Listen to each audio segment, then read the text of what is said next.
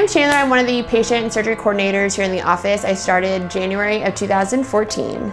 So Dr. Nguyen does so many different things here in the office. She um, does medical as well as cosmetic. So I do all of Dr. Nguyen's surgery scheduling. So that entails getting with the patient, um, getting them scheduled for surgery, coordinating with other offices that also might be doing surgery with Dr. Nguyen, um, contacting the hospital, anesthesia, surgical assist, doing everything that's involved in the actual surgery process.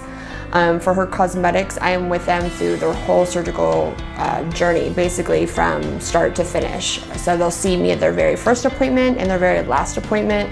I do everything um, from scheduling their surgery, doing their preoperative appointment, um, answering all of their questions. Um, so I'm basically holding their hand through their whole surgery time with us.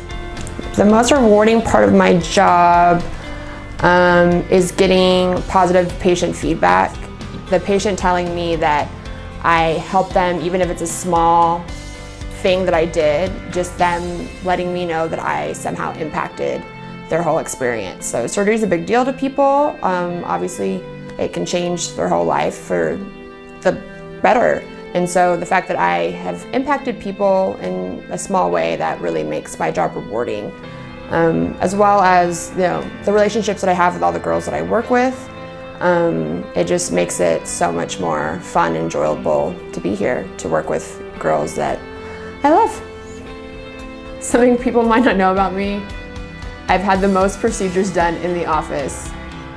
And I don't know if that's interesting or sad. But it's different nonetheless, right?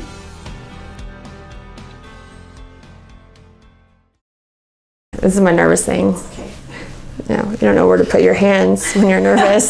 Just like, I don't know. Oh, okay, let me take it back.